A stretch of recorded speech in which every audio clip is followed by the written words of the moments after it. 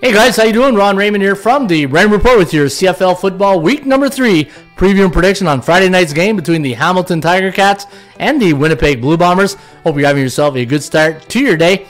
As always, don't forget to subscribe to our channel by tapping that notification bell in the top right hand corner. All right, before we get to this one between the Tiger Cats and the Winnipeg Blue Bombers for this Friday night, June 24th, let's take a look at the first two weeks of the Canadian Football League.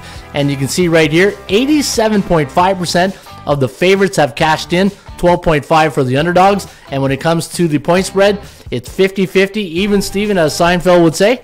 And uh, so, right there, bookmakers doing a nice job on the point spread. And when it comes to the total, 62.5% of the unders have cashed in so far through week one and two. And you know what? As they say in football, defense is always ahead of the offense, and it shows right there in the numbers.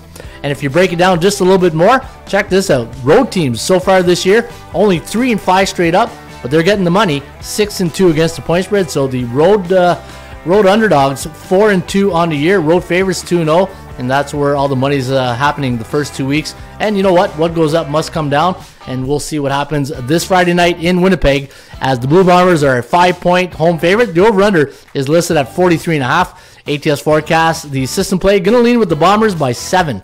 26-19, the over-under at 45.5, so it does like it to go over the total. Winnipeg 2-0 on the year, while Hamilton 0-2. Hamilton losing a tough, tough game last Saturday to the uh, Calgary Stampeders. A game where they're in full control the entire first half, and then it just collapsed in the second half, losing 33 to 30 in overtime against uh, uh, Dickenson and uh, Bo, Levi, Bo Levi Mitchell and his uh, Calgary Stampeders. Where Winnipeg, well, they uh, played Ottawa in the first two games. They won last week in Ottawa. 19 to 12 was the final, and last minute field goal to get that win. Now, going into this one, as you can see, we got Winnipeg winning by seven. And when you look at the history between these two teams, when Hamilton travels to Winnipeg, they are 7 and 3 straight up and against the point spread, and 80% of those games have gone under the total. But when you look at games played either at Tim Hortons Field or in Winnipeg, 90% of those games I've gone under the total. And uh, you see here, Winnipeg got Toronto in Toronto on deck, while Hamilton will face the Edmonton Elks uh, at Tim Hortons Field next weekend.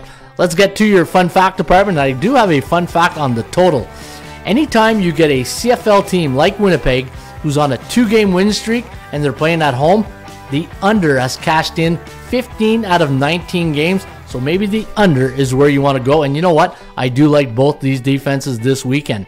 There you have it. That is my preview and prediction on Friday night's game between the Hamilton Tiger Cats and